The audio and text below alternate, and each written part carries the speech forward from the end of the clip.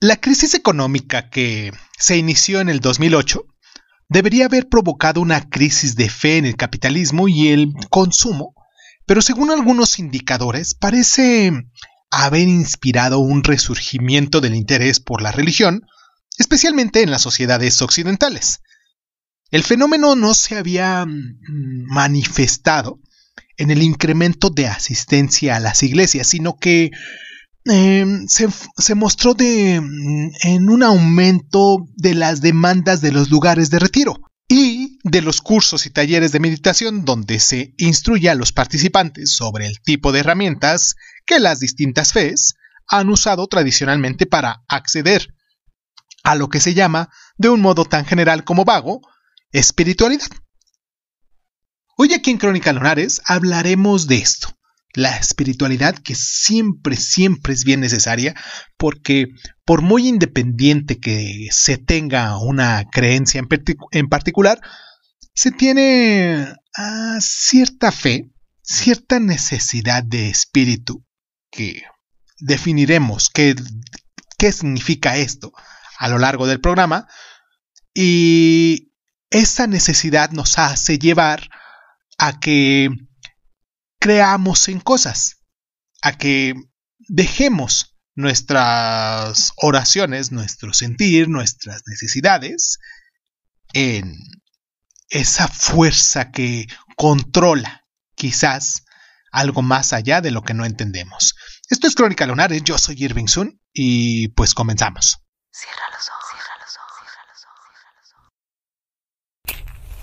ojos. Si escuchas que alguien se acerca, no temas, todo estará bien.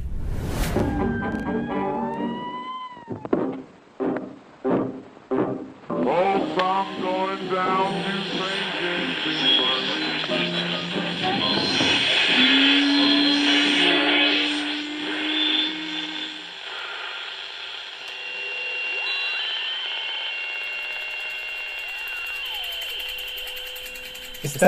escuchando, escuchando Crónica, Crónica, Crónica el lugar, el lugar donde, donde, entra por tus oídos. Bienvenido. Se suele considerar la espiritualidad y la religiosidad como sinónimos, pero bien sabemos que no lo son.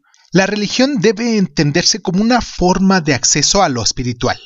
Alternativamente, existe una forma externa y comunitaria de espiritualidad, que contrasta con manifestaciones interiores individuales a las que puede accederse mediante diversas formas de introspección, como la meditación, la contemplación de la naturaleza o la búsqueda de un elevado estado de conciencia por medio del ayuno y de otras disciplinas corporales. El cristianismo, el islamismo y el judaísmo, estas religiones eh, monoteístas, poseen sus tradiciones espirituales específicas, como ya lo hemos hablado en programas anteriores. Cada una de ellas persiguen formas de relación con lo divino más íntimas, personales y místicas que las de los rituales comunes. Estas formas están más arraigadas en algunas tradiciones que en otras. Por ejemplo, el sufismo, que es más aceptado por los musulmanes que la cábala por los judíos. Por su parte, el cristianismo tiene una larga mm, tradición de desconfianza hacia quienes cultivan la dimensión espiritual de su fe más allá de la liturgia, las normas y las estructuras establecidas. Vamos a hacer nuestra primera pausa aquí en el programa para recordarles a ustedes nuestras plataformas para que se pongan en contacto con nosotros para que nos dejen sus mensajitos, para que nos recomienden también temas para poder seguir aquí estos temas de religión, de espiritualidad, de, de cábala, de, de lo que todo estas referencias que se hacen con el misticismo también son muy aceptadas en el programa del día de hoy en Martis Dice. Y pues nos pueden encontrar como Crónica Lunares Edición en Facebook, en Instagram, en YouTube y nos pueden dejar también o mandar algún correíto en crónicalunares.sun.hotmail.com y pues nos descargan también en las distintas plataformas que son de audio y de podcast, como las más comunes que pudiesen ser o las más conocidas, como Evox, como Apple Podcasts, como Google Podcasts, como Radio Republic, en Spotify y muy recientemente también nos encuentran en iHeartRadio y en Speaker también. Espero que pues, nos puedan dejar ahí sus mensajitos o les den seguir o nos compartan, cualquier cosa que ustedes quieran hacer. Al final de cuentas, este programa es para todos los lunares que se toman el tiempo para estar con nosotros. Vamos a la pausa y regresamos para hablar de Santa Teresa de Ávila. ¿Qué tal si vamos y regresamos?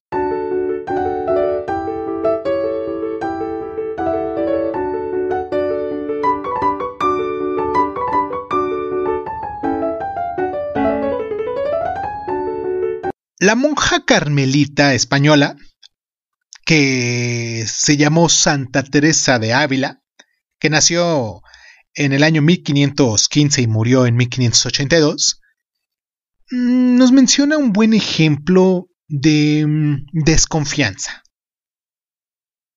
Cuando era una joven monja de clausura, que se mantuvo en el, en el claustro, se consagró a la introspección, a la oración y a la vida contemplativa hasta que alcanzó, según narra su autobiografía espiritual, titulada Las Moradas, el éxtasis religioso y el sentimiento de unión con Dios. Santa Teresa recomendaba cuatro ejercicios espirituales para que los demás pudieran seguir sus pasos. El primero era la oración mental que permitía sustraerse del mundo, al que seguía la oración silenciosa, de la que se perdía en Dios y desembocaba en la devoción de la unión, cuando alcanzaba un estado de éxtasis que la conducía finalmente a la devoción del éxtasis, a un estado de trance similar en el que sus sentidos quedaban anulados y se sentía como si estuviera flotando. Aún así, durante su época muchos creían que los trances de Santa Teresa eran, de hecho, un signo de que estaba poseída por el demonio. Sus compañeras monjas solían criticarla y marginarla, y cuando quiso reformar la orden para que fuera menos mundana y se orientara más claramente a la vida espiritual, se topó con muchos obstáculos como ocurre con muchas de las principales figuras cristianas, y fue mm, además apreciada después de su muerte que en toda su vida. Actualmente es una de las pocas mujeres que goza de reconocimiento de doctora de la Iglesia.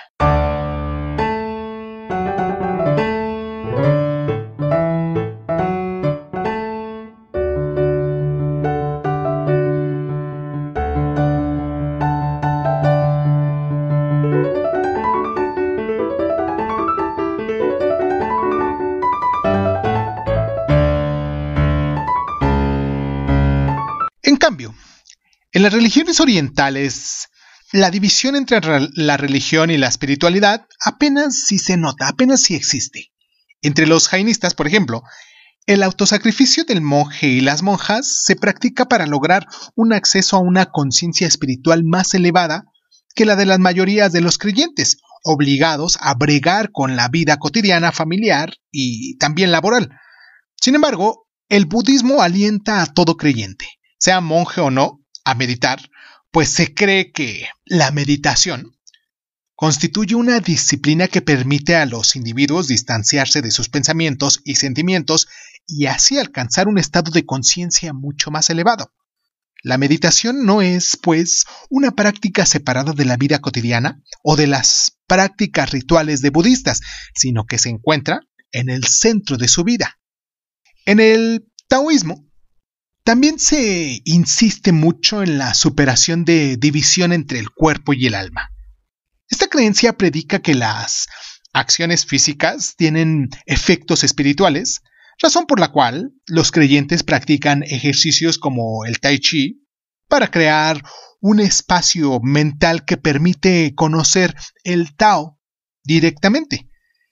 La pureza corporal que se alcanza, por ejemplo, haciendo dieta, está inextricablemente unida a la salud espiritual.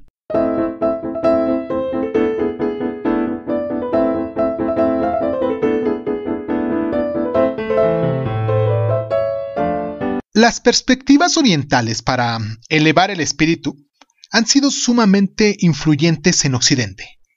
El movimiento trascendentalista de Estados Unidos y de Europa, que se originó en el siglo XIX, estaba profundamente influenciado por el pensamiento védico e hindú. Así, insistía en la importancia de seguir las huellas interiores para llegar al corazón del pensamiento espiritual y acceder a una relación con la divinidad que tenía poco que ver con las instituciones religiosas. Más recientemente, eh, distintos movimientos populares de New Age se han apropiado de algunos aspectos de los rituales y prácticas orientales, aunque en ocasiones se incorporen fuera de contexto.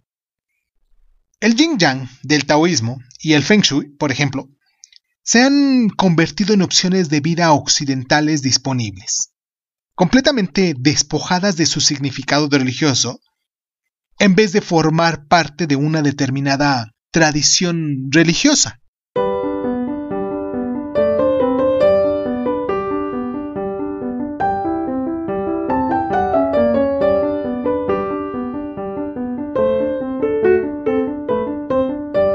El silencio es el primer lenguaje humano. La soledad debería formar parte de la vida de todo individuo, no como una condición exterior permanente, sino como un monasterio interior. Entonces, viviríamos en una serena armonía con el mundo. Cynthia Bourgeaut.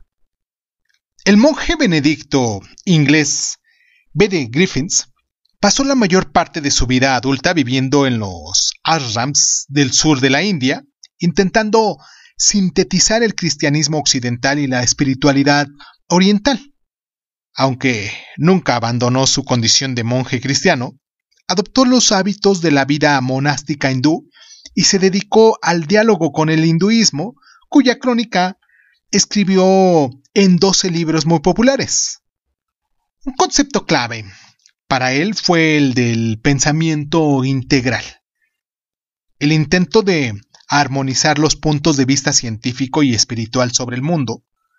El reto actual consistiría, escribió en 1983, en crear una teología que utilizará los hallazgos de las creencias modernas y el misticismo oriental que tanto coinciden y que a partir de ahí evolucionará hacia una nueva tecnología que sería mucho más adecuada.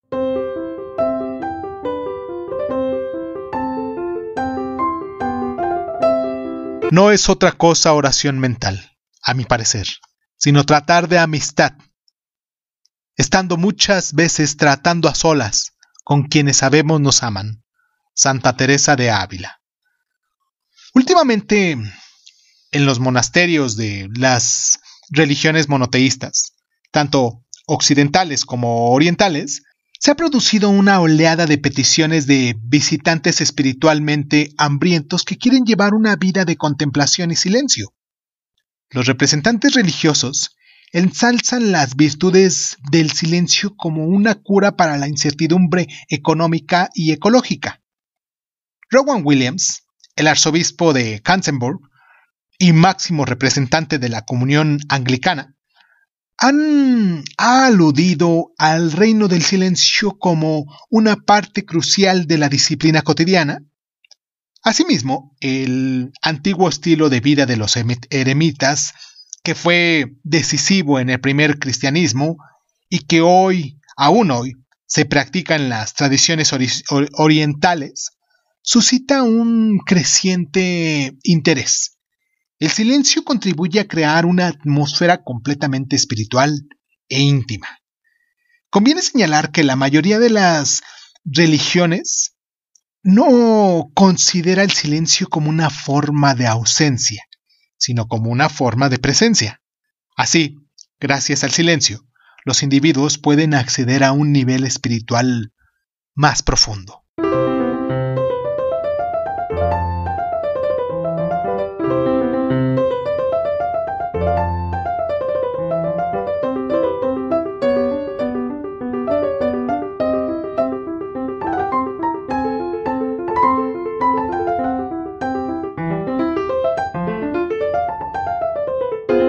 En el siglo III después de Cristo, los monjes eremitas cristianos, en este caso, se retiran al desierto a orar. Para el año 1515 fue el nacimiento de Santa Teresa de Ávila, de la cual ya hablamos aquí en el programa. Para el siglo XIX fue el movimiento trascendentalista. En el 2008, las dificultades económicas de la crisis que se presentó, esa crisis inmobiliaria, fomenta el resurgimiento religioso, pero no como lo conocemos antiguamente, sino un movimiento más de positivismo mmm, pegado a la espiritualidad y al desarrollo del bienestar personal. Espero que hayan tenido un buen un buen fin de semana, siendo hoy martes. Martes es como hablamos aquí en el programa, 7 de junio del año del Señor 2022. Espero que se encuentren muy bien. Les mando un abrazo muy caluroso a todas las personitas que se toman el tiempo para descargarnos todos esos lunares, como ya se han autonombrado en las diferentes plataformas. Y pues también me gustaría que me dejaran sus comentarios en donde ustedes nos estén escuchando o que se acerquen a nuestra página en Facebook como Crónica Lunares de Sun y que ahí nos comenten un poquito más de su propia espiritualidad.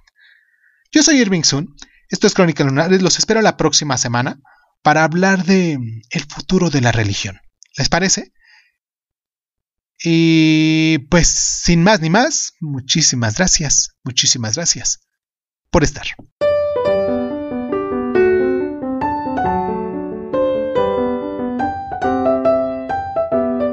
De la virtud empequeñecedora.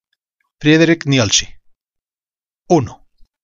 Cuando Zaratustra estuvo de nuevo en tierra firme, no marchó derechamente a su montaña y a su caverna, sino que hizo muchos amigos y preguntas, y se informó de esto y de lo otro, de modo que bromeando decía a sí mismo He aquí un río con que con numerosas curvas refluye hacia la fuente. Pues quería enterarse de lo que entre tanto había ocurrido con el hombre, si se había vuelto más grande o más pequeño, y en una ocasión vio una fila de casas nuevas. Entonces se maravilló y dijo ¿Qué significan esas casas? En verdad, ¿Ningún alma grande las ha colocado ahí como símbolo de sí misma? ¿La sacó acaso un niño idiota de su caja de juguetes? Ojalá otro niño vuelva a meterlas en su caja. ¿Y esas habitaciones y cuartos? ¿Pueden salir y entrar ahí varones? Parecenme hechas para muñecas de seda, o para gatos golosos que también permiten sin duda que los golosinee a ellos. ¿Y Zaratustra? Se detuvo y reflexionó. Finalmente dijo turbado, todo se ha vuelto más pequeño. Por todas partes veo puertas más bajas. Quien es de mi especie puede pasar todavía por aquella sin duda, pero tiene que agacharse. Oh, cuando regrese a mi patria, donde ya no tengo que agacharme, donde ya no tengo que agacharme ante los pequeños. Y Zaratustra suspiró y miró a la lejanía y aquel mismo día pronunció su discurso sobre la virtud empequeñecedora. 2. Yo camino a través de este pueblo y mantengo abiertos mis ojos. No me perdonan que no esté envidioso de sus virtudes. Tratan de morderme porque les digo, para gentes pequeñas son necesarias virtudes pequeñas, y porque me resulta duro que sean necesarias gentes pequeñas. Todavía me parezco aquí al gallo caído en corral ajeno al que picotean incluso las gallinas. Sin embargo, no por ello me enfado yo con esas gallinas. Soy cortés con ellas, como con toda la modestia pequeña. Ser espinoso con lo pequeño paréceme una sabiduría de erizos. Todos ellos hablan de mí cuando por las noches están sentados en torno al fuego. Hablan de mí, mas nadie piensa en mí. Este es mi nuevo silencio que he aprendido, su ruido, a mi alrededor extiende un manto sobre mis pensamientos. Meten ruido entre ellos. ¿Qué quieren que nosotros esa nube sombría? Cuidémonos de que no nos traiga una peste. Y hace poco una mujer atrajo hacia sí violentamente a su hijo, que quería venir a mí. Llevaos los niños, gritó. Esos ojos chamuscan las almas infantiles. Tosen cuando yo hablo. Creen que toser es un argumento contra vientos poderosos.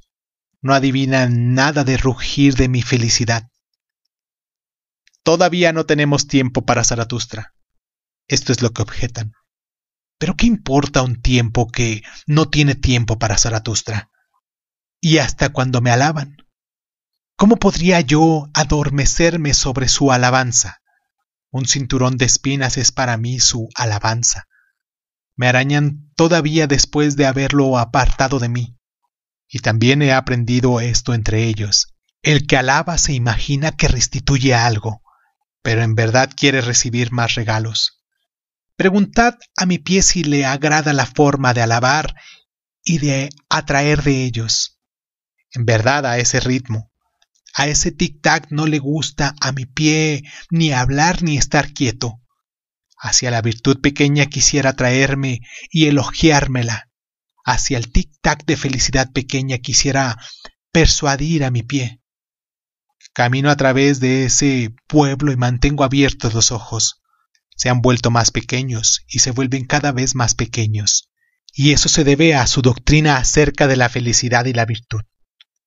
En efecto, también en la virtud son modestos, pues quieren comodidad. Pero con la comodidad no se aviene más que la virtud modesta. Sin duda ellos aprenden también y a su manera a caminar y a marchar hacia adelante. Esto lo llamo yo su renquear. Con ellos se convierten en obstáculos para todo el que tiene prisa, y algunos de ellos marchan hacia adelante y al hacerlo miran hacia atrás con la nuca rígida. A estos me gusta atropellarlos. Pies y ojos no deben mentirse ni desmentirse mutuamente. Pero hay demasiada mentira entre las gentes pequeñas. Algunos de ellos quieren, pero la mayoría parte únicamente son queridos. Algunos de ellos son auténticos, pero la mayoría son malos comediantes. Hay entre ellos comediantes sin saberlo y comediantes sin quererlo. Los auténticos son siempre raros y en especial los comediantes auténticos. Hay aquí pocos valores. Por ello se masculinizan sus mujeres, pues sólo quien es bastante varón redimirá a la mujer. A la mujer. Y la hipocresía que peor me pareció entre ellos fue esta que también los que mandan fingen hipócritamente tener las virtudes de quienes sirven. Yo sirvo, tú sirves, nosotros servimos. Así reza aquí también la hipocresía de los que dominan. Y ay cuando el primer señor es tan solo el primer servidor. Ay, también en sus hipocresías se extravió volando la curiosidad de mis ojos.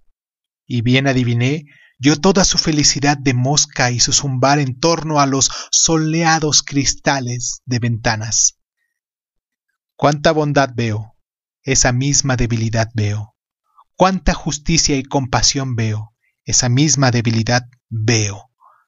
Redondos, justos y bondadosos, son unos con otros, así como son redondos, justos y bondadosos los granitos de arena con los granitos de arena abrazar modestamente una pequeña felicidad.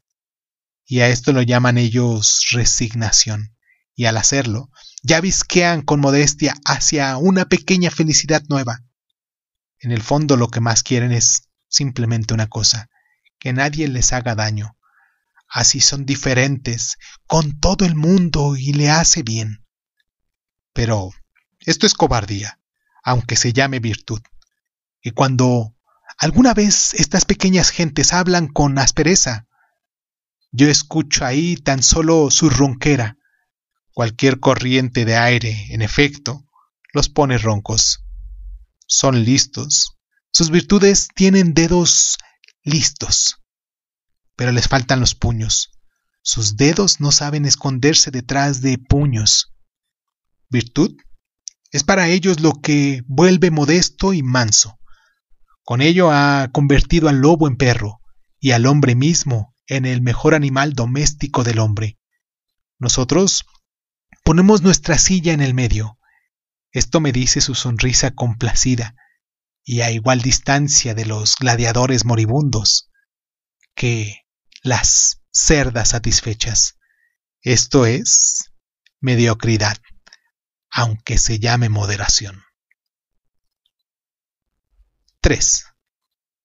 Yo camino a través de este pueblo y dejo caer algunas palabras, mas ellos no saben ni tomar ni conservar. Se extrañan de que yo no haya venido a censurar placeres ni vicios, y en verdad tampoco he venido a poner en guardia contra los carteristas. Se extrañan de que no esté dispuesto a hacer aún más avisada y aguda su listeza, como si ellos no tuvieran ya suficientes número de listos, cuya voz rechina a mis oídos igual que los pizarrines, y cuando yo clamo, Maldecid a todos los demonios cobardes que hay en vosotros, a los que les gustaría gimotear y juntar las manos y adorar. Entonces ellos claman, Zaratustra es ateo. Y en especial claman así sus maestros de resignación.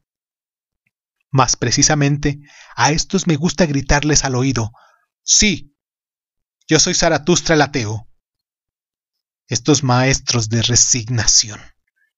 En todas partes, en donde hay algo pequeño y enfermo y tiñoso, se deslizan ellos, igual que piojos, y solo mi asco me impide aplastarlos. Bien, este es mi sermón para sus oídos. Yo soy Zaratustra el ateo, el que dice, ¿quién es más ateo que yo para disfrutar de su enseñanza? Yo soy Zaratustra el ateo, ¿Dónde encuentro a mis iguales? Y mis iguales son todos aquellos que se dan a sí mismos su propia voluntad y apartan de sí toda resignación. Yo soy Zaratustra lateo. Yo me cueso en mi puchero cualquier azar. Y solo cuando está ahí completamente cocido, le doy la bienvenida, como alimento mío y en verdad más de un azar llegó hasta mí con aire señorial, pero más señorialmente aún le habló mi voluntad, y entonces se puso de rodillas implorando, implorando para encontrar en mí un asilo y un corazón, y diciendo halagadoramente Mira, oh Zaratustra, cómo solo el amigo viene al amigo. Sin embargo, ¿para qué clamar si nadie tiene mis oídos? y por eso quiero clamar a todos los vientos.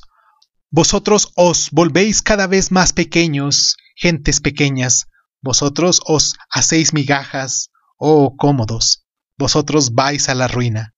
A causa de vuestras muchas pequeñas virtudes, a causa de vuestras muchas pequeñas omisiones, a causa de vuestras muchas pequeñas resignaciones.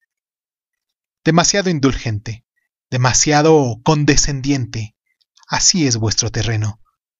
Mas para volverse grande, un árbol ha de echar duras raíces en torno a rocas duras.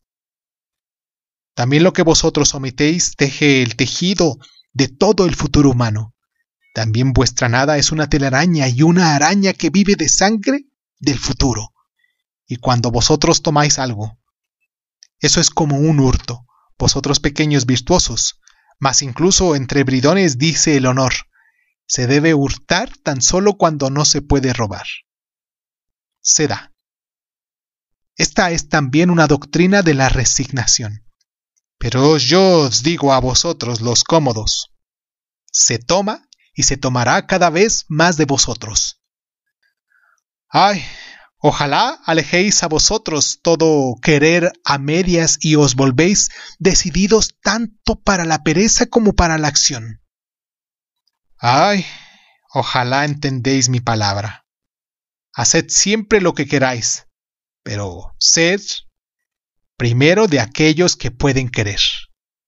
Amad siempre a vuestro prójimo igual que a vosotros, pero sed primero de aquellos a sí mismos que se aman, que aman con el gran amor, que aman con el gran despertar. Así habla Zaratustra al ateo. Más que para hablar si nadie tiene mis oídos, aquí es todavía una hora demasiado temprana para mí. Mi propio precursor, yo soy en medio de este pueblo, mi propio canto del gallo a través de obscuras callejuelas. Pero la hora de ellos llega, y también llega la mía. De hora en hora se vuelven más pequeños, más pobres, más estériles. Pobre vegetación, pobre terreno y pronto estarán ante mí como hierba seca y como rastrojo, y en verdad cansados de sí mismos. Y aún más que de agua sedientos de fuego. Oh, hora bendita del rayo, oh misterio antes del mediodía. En fuegos que se propagan voy a convertirlos todavía alguna vez y en mensajeros con lenguas de fuego ellos deben anunciar alguna vez con lenguas de fuego. Llega, está próximo el gran mediodía.